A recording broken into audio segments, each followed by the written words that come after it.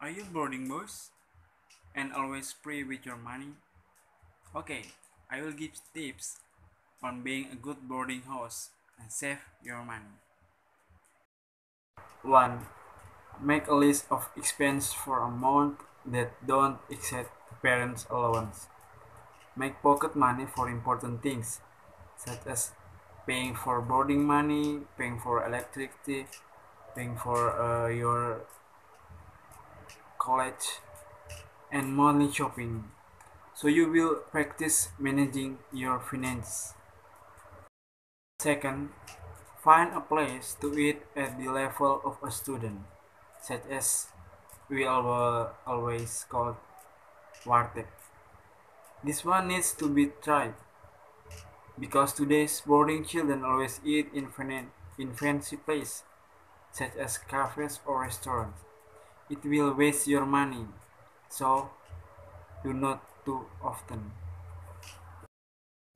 Third, collect coins even though that value is small, but will be very useful when the end of the month, or as the boarding house always called, talk out, which means money is running low.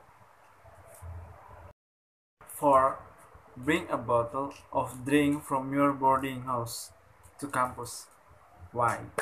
Because if every day you buy one bottle of drink at a price of 4000 multiplied by a month, how much is your expenditure? So just take it to but the just take the bottle from the boarding house and don't be shy Okay, the last five. Learn to save more pocket money.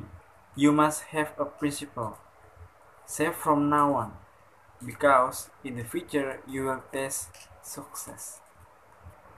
Okay guys, uh, thank you for watching this video and I hope you uh, follow the tips and make sure in future make you uh, success man good man.